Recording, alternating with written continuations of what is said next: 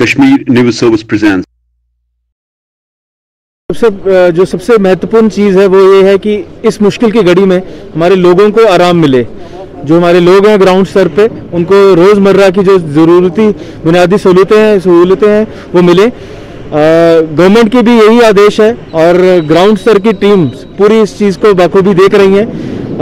इस कोविड की महामारी में खास तौर पे सभी स्टेक होल्डर से बात की गई, चाहे वो ट्रेडर्स एसोसिएशन हो, चाहे हमारी इमाम साहिबान हो रिलीजियस लीडर्स हो, और पब्लिक रिप्रेजेंटेटिव हो। सभी डीडीसी मेंबर्स अनंतनाग के और बीडीसी मेंबर्स यहाँ पे मौजूद थे।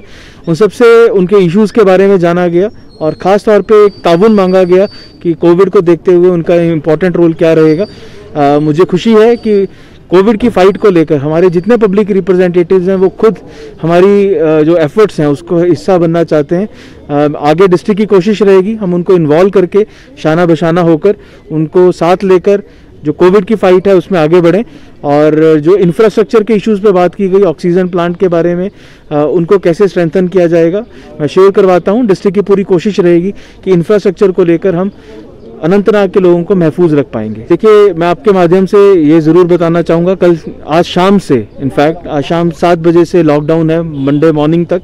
आप सब इसका ताउन करें।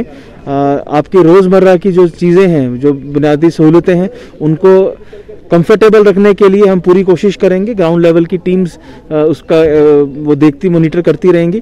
पर ख़ास तौर पे किसी का वायलेशन ना करें, जो गवर्नमेंट का आदेश है, जो कंटेनमेंट जोन्स के लोग हैं, उनके लिए खास ज़रूरतों की चीज़ें हम मुहैया करवाएँगे पर जो भी लोकल एडमिनिस्ट्रेशन आपको बताएगी, उस चीज़ को ज़रूर फॉलो करें एस का फॉलो करें, बाहर ना निकलें thanks for watching Kashmir news Service.